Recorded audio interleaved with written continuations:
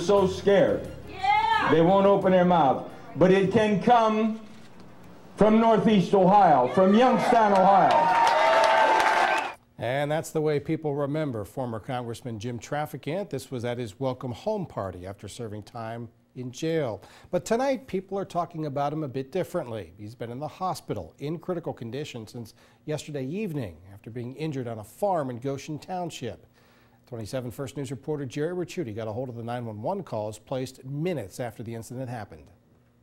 For those who know Jim Traficant best, this has been a very difficult day. He used to tell my mother that he loved his horses and he loved getting out and, and doing those things on his farm.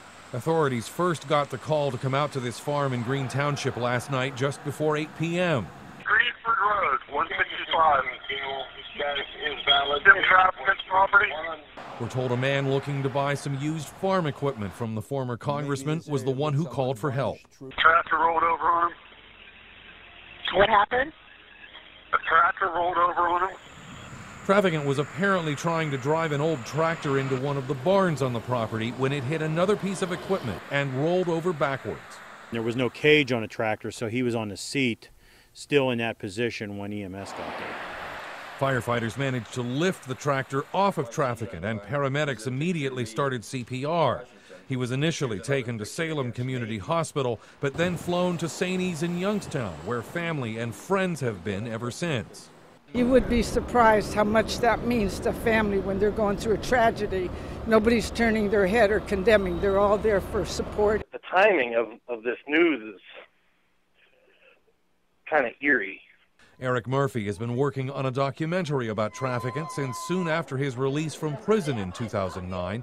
Ironically, it was what happened on this farm, where former aides like Traficante and others were ordered to work for free, that led to Traficant's conviction and expulsion from Congress seven years earlier.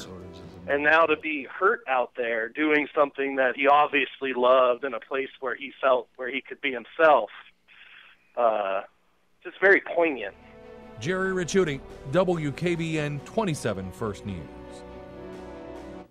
And now let's hear the story about how emergency responders got that tractor off Jim Traficant. The Goshen Fire Chief talked to 27 First News reporter Matt Horn tonight. He continues to follow this story. He's live from outside the hospital. That's right. We're live out here in front of St. E's right now, where we're being told that Traficant remains in critical condition after a tractor rolled on top of him Tuesday evening. Now, the call for the accident came in Green Township Tuesday evening. We're told that Traficant was pulling a tractor into a barn when it rolled on top of him. Earlier this evening, I talked with the fire chief of the township, Todd Baird. He tells me that his team worked as fast as they could to resuscitate and to rescue the former congressman. It was just something that happened at the time. Um, not quite sure how, what, when, why, um, but it worked. A trial could be, conviction could be over. And Baird tells me that it took his crew about 15 minutes from getting to the scene to pulling the tractor off a Traficant to getting him to the hospital. Originally, he went to the hospital in Salem and then he was taken by helicopter here to St. E's. Coming up at 1030, we'll hear more from the fire chief and also from the congressman who was the predecessor to Traficant. But for now, reporting live at St. E's, Matt Horn, WKBN 27 First News at 10. All right, Matt, thanks. If there's any change in the congressman's condition, we'll bring it to you here on WYFX. You can also look for our website, WKBN.com. Your weather story.